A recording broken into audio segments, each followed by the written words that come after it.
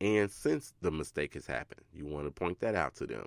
Third thing you want to do is you want to promise that it won't happen again. So you're going to tell them whether you think it's going to happen again or not. You want to tell them that it's not going to happen again. Whatever the issue you had, whether it was an employment issue or an unexpected expense that caused you to be late this time, that you have rectified it, you've corrected it, it's not going to happen again, and you'll be able to make your payments on time. That's what you want to do with your letter or within your phone call. Now, I'm going to say if you call somebody and uh, they seem like they have an attitude up front, that might not be the person you want to talk to. You can freely hang up on them if you want to. You can ask to be moved to a supervisor. You can hang up, you can call back, whatever it is. But please get somebody that appears, at least appears to be pleasant, that may work with you. Because um, I tell you, I have done this too many times. And oftentimes you can tell from the time the person answers the phone if it's going to be a pleasant conversation or not. So you want to do that. So what else can you do? If you have already have this particular late payment on your on your um on your report. Here's the third thing you can do. Actually, you know what? I'm gonna pause. I'm gonna give you the third thing um, after this. So we're going to do the question of the day because we're halfway through the show. At this point, we're going to do question of the day. And before I do question of the day, I'm going to uh, shout out a couple more people. Vernon Robinson, he celebrated birthday as well. Should have got his shout out last week. So happy birthday to you, Vernon. Tiffany Andrews on Monday, she celebrated her birthday. So happy birthday to you, Tiffany Andrews. Um, Hollis Thomas, one of the nicest, nicest men I've ever met in my life. Happy birthday to you. He celebrated a birthday last week. A former co-worker of mine, Mike Grove. Yes, Mike Grove. And I already know that he celebrated his birthday in Puerto Rico um, this week. So happy birthday to you. I hope you can. Get, a matter of fact, I already know. I already know you can get the show while you're in Puerto Rico as well. So happy birthday to you, uh, Mike Grove.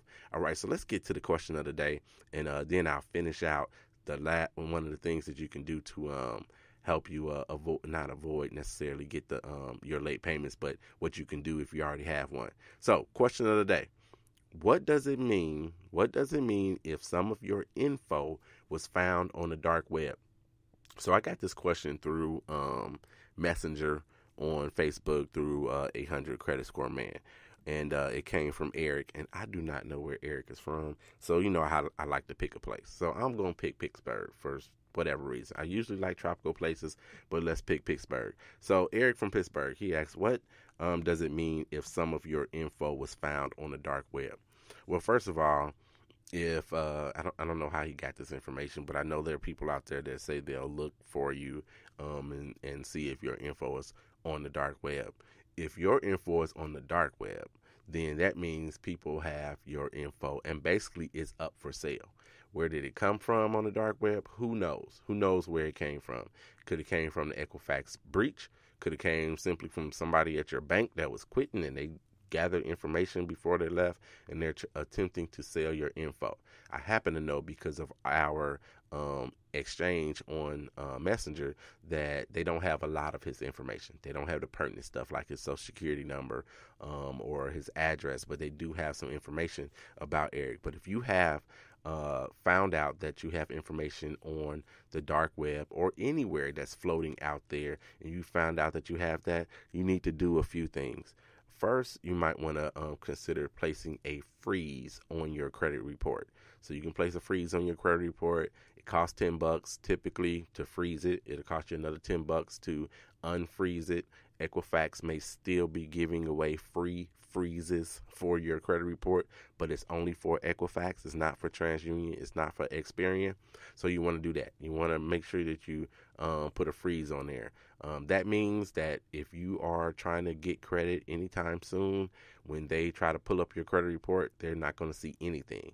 I mean, it's basically going to be blank. They won't see anything at all. They won't be able to get that you have any accounts. It'll look like you don't even exist. So just be aware of that if you're trying to get anything anything else. So make sure you do that. You put a freeze on your credit report. Now, you can also most likely contact the police department and let them know that you're aware that this information is out there. It's almost preemptive because no one has gotten his his information just yet. But if it has happened to you and they've they've gotten your information, you need to file a um, police report. That's going to be um, instrumental in you getting out of whatever debt they may have created for you by using your credit. It's going to be um, very important for you to file that police report. So make sure you file a police report as well. And then if you have people contacting you saying you owe them or what have you, then you definitely need to um, to talk to them. You need to talk to them. Um, you need to make sure that they're legit um, as well. Make sure that those people are legit that you're talking to, and then you need to go look at your own credit report. And maybe you should do this even earlier, but go look at your own credit report. One of the first places I like to go, if there's any question at all, is to the inquiries portion. So you go to inquiries and make sure that there aren't any new inquiries. Anytime anybody looks at your credit report, especially if you're going to be getting credit, which is a hard inquiry, it's going to show up on your credit report. It doesn't take 30 days for it to show up on your credit report. It may take 30 days or more for an account to show up on your credit report. But as far as that inquiry is concerned, it's going to show up on your credit report. If you did not apply for credit anywhere, then you know that somebody is trying to get an account with you on that inquiry, you should be able to see who it is and maybe even get some information as far as at least a P.O. box or physical address and maybe even a phone number. And you need to give them a call and see what in the world's going on so you can stop it. They may have gotten an account in your name. Like I said, it won't show up. The account itself wouldn't show up on your credit report for 30 to 45 days and sometimes even longer.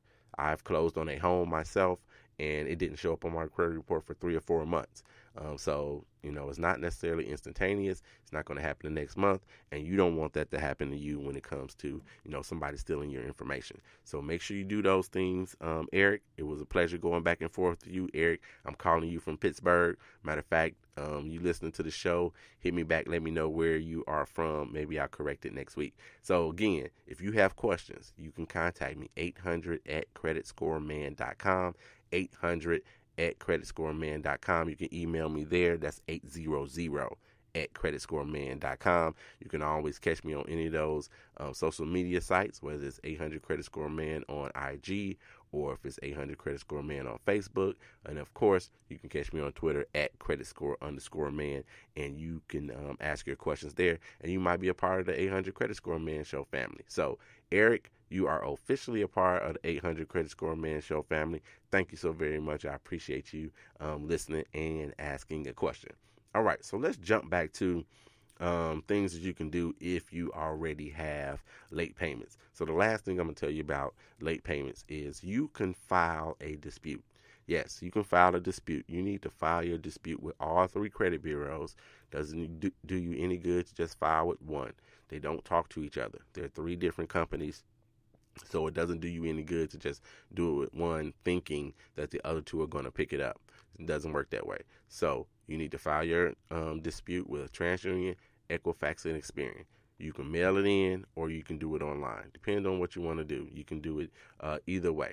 Um, you do give up a few rights if you do it online versus doing it in the um, via mail, but typically it's not an issue, but it could be. So you got questions about that? Contact me again, 800 at creditscoreman.com. Uh, and then so it, and especially especially if it's something that's older or it's a closed account, you want to go ahead and file a dispute. If it's really, really old, and especially if it's a closed account, file that dispute saying that you weren't um, late. Maybe you don't remember if you were late, um, but file that dispute and make sure. And this way, you put the onus on your creditor, your former creditor. Um, you put the onus on them to prove to the three credit bureaus that yes, you were late. Now, oftentimes, especially with a closed account, um, they won't even bother to respond that's good for you because if they don't respond in those 30 days if you mailed it in they get 35 days. If they don't respond in that time frame then possibly it'll come off of your credit report. Having those things removed having any negative item removed from your credit report is going to be very good extremely good for your um, for your credit score so make sure you do those things um, to help you when it comes to your credit score all right, let me give a couple more shout outs and then I'm going to end with some things that you can do to help avoid, to help you avoid um, being late when it comes to your uh, your credit. I got to shout out Damon King. I this is probably, probably the first time a king is on this show and is not related to me. So Damon King, I'm gonna call him cousin anyway um, since his last name is King. He celebrated a birthday last Wednesday. So happy birthday to you, uh, Damon. Sheena Morris Harris. She celebrated a birthday as well. So happy birthday to you, Sheena. And the beautiful Robin Page celebrated a birthday. So happy birthday to you, Robin, as well. All right, so let's get to some of the things that'll help you avoid these late payments. So these are some simple things that you can do to help avoid being late. The first thing is automatic deduction. Now, if you've listened to the show before, I've talked a little bit about automatic deduction. I'm not a big, big fan of it because I don't necessarily want somebody in my account if it's going to be short, if it's going to be close to short. You know, I'm going to forget that this is the 20th of the month and that bill's coming out. And I thought I had 600 bucks and now I look up and I only have 300 bucks. You know, that's an issue for me, it might be an issue for you, but automatic deduction. I do use it for a couple accounts. You know, I used it for my student loan, which is paid off. Thank goodness, thank God, it, it is paid off. But I used that for um, for that, and you know, it had been coming out for years. So use automatic deduct, deduction. That can help you avoid being being late, and you can set this up uh, with most of your creditors that you owe. You don't necessarily have to go through your bank necessarily to do it. You can set it up with your creditors for automatic deduction. So that's one thing you can do. Another thing you can do is you can set up recurring deductions from your bank account. So I know with my bank, I can go in and I can say, yep, I want to pay this bill. This is the amount, and I want to pay this particular amount every month on whatever date that is. So you can do that. You can set it up, it'll come out every month, and then you won't have to worry about going back in and doing it every month. So you can do that. Might not work so well necessarily with credit cards unless you're paying over the minimum if you're paying over the minimum because if you use your credit card you know that um, what you owe might go back and forth or go up a little bit um, but you can set up recurring deductions on things if you got a car note you know, car note's the same. It's not going to change. Your mortgage is the same. It's not going to change. You can set up those recurring deductions with your bank. Um, you can also do that same thing, basically like an automatic deduction with those with those people as well. So um, so it's very similar to the first tip that I just gave you, um, but this way you're using your banking institution to do it, which means to me, I can stop it better, easier, faster than I could if I had to call a company and do all those things. I can stop it if I wanted to do so if I'm controlling it from my own bank.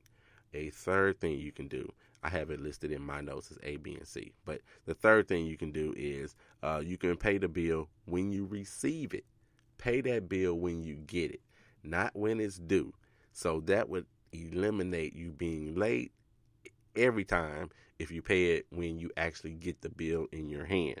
Um, this saves you the headache of remembering um, several different due dates. I have done this um, for sure, uh, especially back in the day when I had like four or five credit cards with balances on all of them, car note, house note, student loan, all of these things and all different due dates then if you just pay it when that bill comes in, if you've got the money, go ahead and pay it when the bill comes in. And so when it comes due, it's already done, right? So you won't be late if you pay it when the bill actually gets in your hand, or if you even get an um, online bill. You know, you see that email and it says that boom, you are, um, you, you know, your payment is due, you know, 15, 20 days from now. Go ahead and make that payment, make the payment right away. That'll avoid you being late. Here's another thing that you can do you can use a calendar and alerts um, on your phone uh, for your due dates.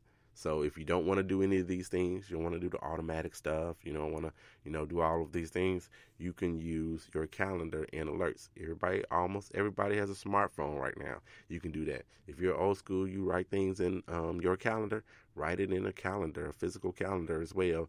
Um, write your due dates down, and then that way you'll know when you look at your calendar what your list is, what you need to do for the day, what you need to do for the week. You know what it is, and you can go ahead and make those payments. So, personally, typically I don't um, use a calendar all the time but I do set those alerts, you know. So I told you before, I used to I used to never pay my cable bill on time, um, which is not on your credit report. So your cable bill is not on your credit report, but it's a bill nonetheless. So I use my calendar for that bill, and I set an alert.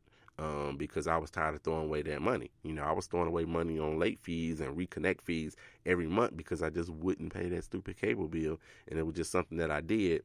But it took me some time to get used to it because it wasn't something that I was used to doing. But now, but now I'm no longer late. I don't have an issue. I don't have to, um, you know, go back and keep looking. I know when that bill is due. I know when I'm gonna pay it, um, and I set that alert